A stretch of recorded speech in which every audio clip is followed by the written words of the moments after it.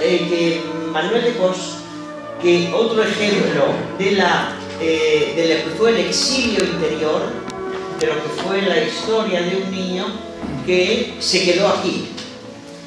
Y luego, si a ustedes les parece y todavía tienen ánimos, podemos empezar un debate porque hay personas que no han contado nada, pero no podemos tener aquí. Eh,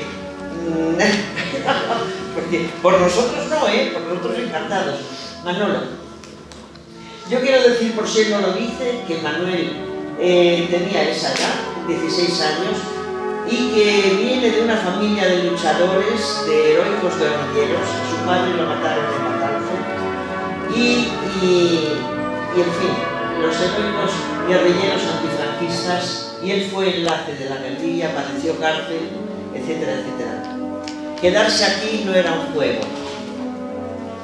He escuchado con mucha atención la historia que nos cuenta Araceli, María Antonia, María Amparo. María Amparo. ¿Qué suerte habéis tenido? ¿Qué suerte habéis tenido los que habéis ido a, a ese país de la Unión Soviética? Yo voy a ser siempre muy breve. ¿Dónde están los, los hijos robados, desaparecidos. De eso no habla nadie.